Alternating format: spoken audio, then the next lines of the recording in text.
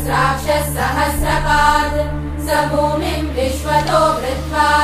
अत्यतिष्ठदशाङ्गुलम् पुरुष एवेदगुम् सर्वम् यद्भूतम् यच्च भव्यम् उदामृतत्वस्येषानः यदन्नेनातिरोहति। एतावानस्य महिमा अधोजायागुश्च पूरुषः।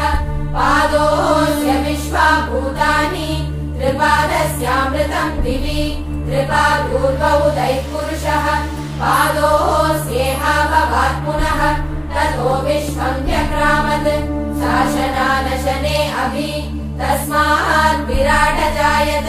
विराजोऽधिपूरुषः स जातोऽत्यरिच्यत पश्चात् भूमिमतो पुरः यत्पुरुषेण हविषाः देवा यज्ञमतन्वत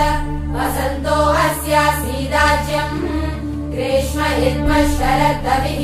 सप्तास्यासन् परिदयः त्रिसप्तः त्रिसप्तसमितः कृताः देवायज्ञम् तन्वानाः अवध्नन् पुरुषम् पशुम् तम् यज्ञम् बर्हिषि प्रोक्षन् पुरुषम् जातमग्रतः तेन देवा